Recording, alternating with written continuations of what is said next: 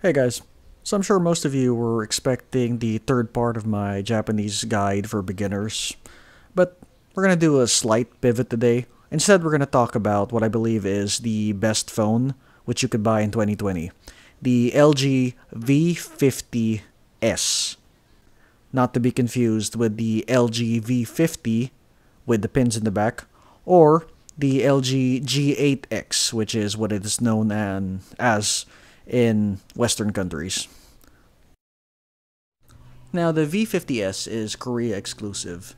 Um, it's more well known as the G8X, but the Korea exclusive one has twice the memory. You're looking at 256 gigabytes of storage space, and you're looking at 8 gigs of RAM. Now, this doesn't seem like such a big deal because I mean, 6 gigs of RAM isn't that different from 8 if you're a standard user. But if you're doing something like video editing, or more importantly, you're um, studying, then this 8 gigs makes a huge difference. You can see here that um, my usage constantly comes near to 6. So if this was only 6 gigs of RAM, I would be almost maxing out my regular usage of this phone, which is, well, that kind of sucks anyway. Uh, the biggest thing of why I think this phone is great is number one, it is only around 30,000 pesos. And you would argue, okay, this is a 30,000 pesos. What can I get for 30,000 pesos? And well, this phone has a Snapdragon 855. It's the uh, top model of 2019. You could also argue that, well, the 855 Plus, which is available in the ROG Phone 2, would cost me the same thing. However, um, my way of uh, countering for that is that um, the LG phone um, since the I think the V40 or the original V50 has had dual screens, and the dual screens are a game changer. For reference, the LG V60 is around 40,000 pesos, but it's not available here in the Philippines, so you have to either forward ship it, and then after you forward ship it, you're gonna have to unlock it, or you could have a direct ship, uh, probably via FedEx or UPS, unlocked, but you don't really know whether it has in fact been unlocked since they're only available on eBay or Swappa. Um, you could also get the Galaxy Fold 2 or the Galaxy Fold 1, but this is around 65,000 pesos. I'm not sure what it is now, maybe 55,000. Still a little more than half or a little less than half. Or the Huawei Mate X, which is the most popular most expensive Huawei phone right now, which folds outwards. Yeah, that's around 70 last I checked. So, I mean, having a dual screen phone for 30,000 pesos is an insanely, insanely good deal. Now, a lot of reviewers have said that dual screen phones are mostly just a gimmick. Folding phones are mostly just a new gimmick, and there's not a lot you can do with them at the moment. Um, that's really about to change. As we all know, the Microsoft Surface Duo is releasing this Christmas, or sometime in the holiday season anyway. And they've been working on this for quite a long time already. So, you know, uh, one of the first things I'd like to talk about is why having two screens is actually a lot better than what you think it should be. Now, one of the best uses of the dual screen phone is for writing practice. The way I like to use it is I will usually open the dictionary on the left side. This will contain the stroke order if you're doing hiragana, katakana, or if you're a little bit more advanced, you can use kanji. And on the right side, you can practice the writing. This is also useful if you're using, say, Anki for Android, wherein you can have Anki open in the left window, and if you make a mistake or you forget about it, you can recall the Anki um, by opening it on the right side and looking at the descriptive meaning. Uh, you don't have to go and move between two different screens. You don't need to minimize and reopen another screen. So, uh, in terms of how useful it is for um, knowledge retention, it's kind of a lot more useful than just having like one screen, which you're constantly changing and switching back and forth with. Another favorite thing I like to do with uh, having two screens is your main screen is still capable of going into split screen. And so you have three different apps open. So let's say you're writing on the bottom part of your app, this is pretty easy. It's an Android phone, so you could just use any type of stylus which is compatible with Android. Personally, I use the Adonit Jot Dash 3, but um, you could also just use a regular capacitive stylus. This could just go for like 100, 120 pesos each. Uh, you could use your finger if you're more comfortable with that, um, but you know, just for uh, test taking purposes or um, for the feel of it, I would suggest you at least get a stylus. Now, um, you could also argue, okay, well, the LG, uh, what's in the what's this called again? The LG Velvet is the newer version, and the LG Velvet actually supports active styluses. And also, the LG Velvet has a uh, much bigger, well, not really much bigger, um, a slightly bigger battery life, which is kind of cool. But it's also a lot more expensive now if you get the LG Velvet. And it's only running a Snapdragon 765, I believe, versus the 855, which uh, I know the rage all nowadays is gaming phones and business phones. No one ever talks about how you can kind of meld the two together. It's either you're a gamer or you're a businessman. But, you know, it shouldn't be that simplified.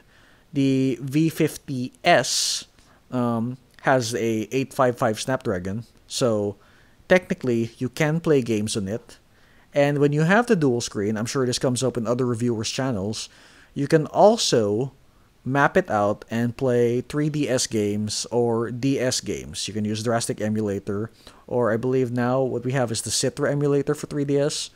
Don't come to my channel for those reviews. There are a lot of better channels if you want to see how to game on it. But it provides you with two different screens, so you get all that gaming performance if that was what you were buying it for. Admittedly, uh, I also thought about this, but the biggest uh, usage in my case is for studying. Uh, having two apps open at the same time allows you to better absorb the knowledge, and by constantly writing what you're seeing on the other screen, it really helps transition the raw knowledge from what's written uh, I'm sorry, from what you see to what is written. I've also preached a lot about um, how you don't need physical classes to learn a language, and you can do everything simply through apps, and if you decide you want to, some online learning. So, another great thing about the LG phones, although they're not as popular as the Samsung DeX or the Huawei, uh, I forget what it's called, but they have a desktop mode. Uh, the LG also has a desktop mode. And, okay, admittedly it's a little rough. Uh, it's still kind of more like a beta mode. But you can put this phone into desktop mode by plugging it to a portable touchscreen monitor. And on that touchscreen monitor, you can do the same thing as having the dual screen phone. What I mean by this is you can write on the phone, you can have two apps open. It basically works like a Windows PC, but instead, it's mobile. Uh, you could probably argue, well, that doesn't make sense. Why don't I just get a Samsung phone?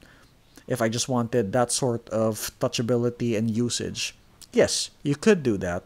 But again, this phone's like 30,000 pesos as compared to getting the newest Samsung phone or at least a Samsung phone with a Snapdragon 855 which will probably be around 40,000 and you don't get the second screen. In this case, this thing can be used, um, by the way, if you're not aware, the second screen is detachable. It's more of an accessory, but I keep it on like maybe 85% of the time. Um, so you can use it as a single phone. You can have the second screen when you want to be extra productive. And when you're at home or if you're in a place where you want to use it as a desktop, you can now plug in this phone and run it on desktop mode. So, you know, there's like three uses for this one single phone, which again is like 30,000 pesos. Uh, if you're asking, okay, is it that great? I mean, I could always buy a gaming phone with that money. Yes, you can. If gaming was your primary and only objective, then yeah, well, sure, you could easily get a gaming phone for this price. But the biggest selling point I've been um, stating here is the second screen. The second screen, I there's just no way to describe how useful it is. It's it helps you edit better. It helps you run multiple apps together. Um, again, other reviewers have better ways of saying what they use it for. You can run maps. You can instantly send um, screenshots to someone you're talking to without having all of this um, extra movement and extra keys which you have to press before you can send it. But that's not really the point. My point is that it's a Snapdragon 855 with 8 gigs of RAM and 4000 mAh battery. And it's just terrific for studying because you just it's got you you can just run so many apps at the same time. Well, two apps at the same time. But it's great for practicing how you write and what you're going to be doing. So yeah, uh, really, it's July of 2020 right now. I don't know when you're going to be watching this. I don't know if the um, Microsoft Surface Duo has been released already, but as of now, I would say that if you're in the market for a new phone and you'd like to be able to multitask, or in my case, study more efficiently without having to carry around a notebook or paper or you know um, all these complicated materials, this is the best phone for your money. It's about um, let's say seven, eight thousand pesos cheaper than the newest Velvet, and it's around fifteen thousand pesos cheaper than getting the LG V60. So, if you're on a budget um, and you need something that basically works for office, can also be for games, but mostly for studying, I would recommend this phone. That's it. Uh, part 3 will be up next week. I just really had to make this video because it's just so useful and it's been really great for helping me study and I just had to share that with you guys. So, see you next time.